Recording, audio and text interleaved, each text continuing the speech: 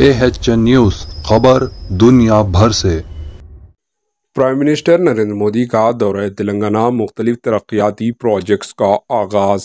हिंदुस्तान के prime minister Narendra Modi एकम अक्टूबर, एक अक्टूबर को दौरे तेलंगाना के दौरान तेरह हज़ार पाँच सौ करोड़ मालियाती मुख्तलिफ़ तरक्याती कामों का संग बुनियाद रखने के साथ कई तरक्याती प्रोजेक्ट्स को कौम के नाम ममनू करेंगे।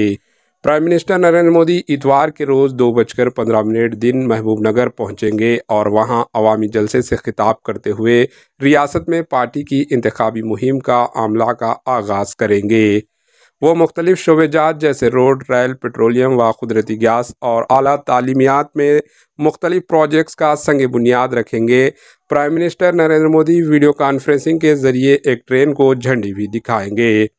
वो संग बुनियाद रखने के साथ कई रोड प्रोजेक्ट जैसे जिसमें नागपुर, विजयवाड़ा, माशी राहदारी हिस्से के तौर पर अहम रोड प्रोजेक्ट्स शामिल हैं, मुल्क के नाम ममनू करेंगे। इन प्रोजेक्ट्स में कौमी शहरा 163 के तहत 108 किलोमीटर तवील वरंगल से Khammam four lane green field highway, Khammam से विजयवाड़ा 90 किलोमीटर तवील four lane green highway field highway भी शामिल हैं। इन प्रोजेक्ट्स को 6,400 करोड़ के एक्सपेंसिव से पूरा किया जाएगा।